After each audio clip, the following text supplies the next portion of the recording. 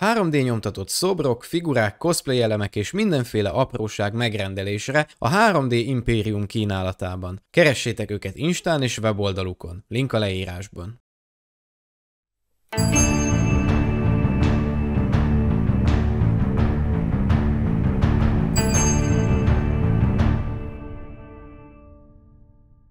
Habár már hazajöttem a Star Wars Celebrationről, tegnap még kint voltam a szombati napon az eseményen, és láttam egy pár elég érdekes dolgot, illetve a mai napon is érkezett még egy pár érdekes bejelentés, úgyhogy a mai második videóban a szombati és a vasárnapi eseményeket szeretném egy kicsit összefoglalni, ami a híreket illeti, ahogy pedig már korábban mondtam, ilyen élménybeszámolós videót inkább majd hétfőn fogok csinálni az egészről, úgyhogy nézzük mi volt a Celebration-ön szombaton, illetve ma bejelentések szempontjából. A reggelt az Ahsoka panel indította, ahol mutattak egy kibővített előzetest a sorozatról. Ez pár érdekes dolgot felfedett az egésszel kapcsolatban, viszont a legfontosabb az, hogy megmutatták Throne szemből is, erről lehet látni a neten kiszivárgott képeket, illetve én is készítettem egy trailer elemzést, amiben a bővített előzetesnek a részleteire is kitértem, és azt is megerősítették végre, hogy Lars Mikkelsen fogja alakítani őt, aki a lázadókban a hangját is adta, ami szerintem tökéletes döntés, én nagyon keresztbe tettem az ujjamat azért, hogy ez így legyen, és nagyon örülök neki, hogy ez végül így valósul meg. Szerintem ő a tökéletes választás erre a feladatra,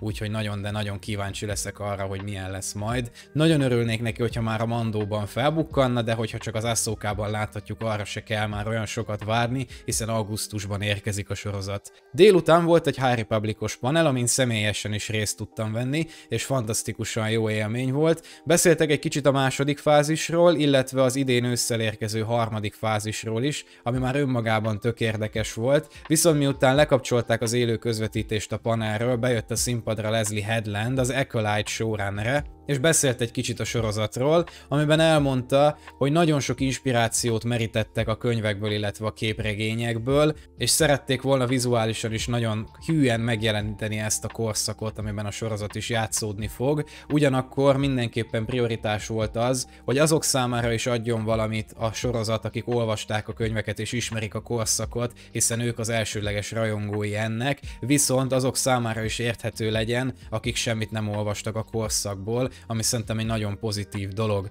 Azt is hozzátette Headland, hogy a sorozat elsődleges célja az lesz, hogy egy hidat képezzen a High Republicos Jedik, illetve az előzmény trilógiás Jedik között, ideértve főleg a filozófiájukat és a világnézetüket, hogy a High Republicnak a kicsit szabadosabb, kicsit lazább Jedieiből hogyan lett a bajós árnyak, és főleg a későbbi előzmény trilógiás filmeknek a nagyon dogmatikus, nagyon begyöpösödött Jedi rendje, mindez pedig ugye a sötét oldalnak a szemszögéből, ami még sokkal érdekesebbé teszi ezt az egészet. Ráadásul a panel végén levetítették újra az előzetest, amit pénteken a Lucasfilm Studio showcase is, úgyhogy én is láttam azt kint a helyszínen, és valami elképesztően jól néz ki. Leginkább úgy tudnám leírni, hogy hasonló látványvilága van, mint az Eclipse című játéknak a CGI előzetese, így a helyszínek meg a karakterek megjelenése szempontjából, úgyhogy szerintem nagyon eltalálták az érának a hangulatát, nagyon-nagyon várom már, hogy láthassam, az előzetes valami elképesztő elképesztően jó volt. Kíváncsi vagyok, hogy ti mit fogtok szólni hozzá, amikor majd publikusan is megosztják valamilyen formában,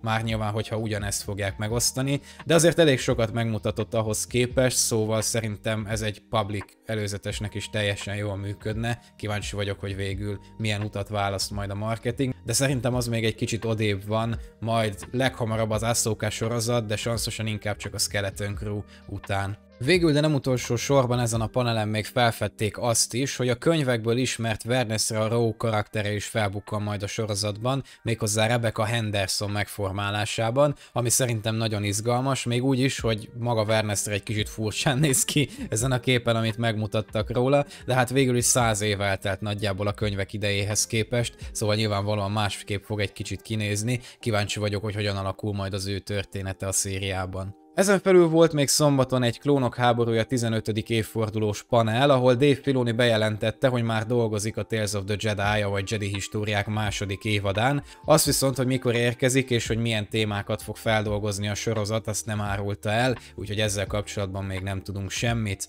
A mai nap már egy kicsit csendesebb volt, nem érkezett olyan sok bejelentés, talán a legnagyobb, ami jött, az a Jedi Survivor-nek az utolsó játékmenet előzetese, a játék 28-ai megjelenése előtt. Egyébként maromi jól néz ki, de azért aki követte a játéknak a marketingét, meg például a múlt héten vagy két héttel ezelőtt, azt hiszem múlt héten közzétett ilyen preview játékmenet videókat, azoknak olyan sok újdonságot nem mutatott ez az előzetes, de ettől függetlenül nagyon hangulatos volt, természetesen nagyon várom már a játékot. A celebration igazából már csak egy olyan érdekesebb panel lesz, méghozzá holnap a Bad Batch harmadik évadával kapcsolatban, vagy hát úgy általánosságban a Bad batch kapcsolatban csak ennyi a panel címe, viszont valószínű, hogy itt fogják majd bejelenteni, hogy mikor érkezik a harmadik évad. Esetleg egy előzetest is kidobhatnak hozzá, attól függően, hogy milyen fázisban áll már a projektnek a fejlesztése, erre azért nem vennék mérget, de arra, hogy nagyjából mikor számíthatunk a következő évadra, az sanszosan felfedik majd a panelen holnap. Igazából ennyi lényeges dolog történt a celebration tegnap és ma, nagyon izgalmas napok vannak a hátunk mögött, és még holnap mindig tart még egy napig az egész. Igaz, hogy akkor már olyan sok mindenre nem lehet számítani, csak a Bad Batch-re, de azt hiszem bőven kaptunk elég bejelentést ebben a pár napban ezen a húsvéti hétvégén, úgyhogy szerintem nagyon elégedettek lehetünk, hogyha minden projekt, amit bejelentettek megvalósul, akkor azt hiszem, hogy tényleg mindenféle rajongói igény teljes mértékben ki lesz szolgálva, és nem panaszkodhatunk. Azonban ez a videó most ennyi lett volna, köszönöm szépen, hogy velem tartottatok, hogyha tetszett, akkor nyomjatok egy lájkot, vagy iratkozzatok fel a csatornára, hogyha még nem tettétek volna meg. Ha pedig szeretnétek támogatni a munkámat, akkor a szuper köszönettel, illetve a csatornatagsággal csupán havi 400 forintért ezt is megtehetitek. Sziasztok, az erő legyen veletek!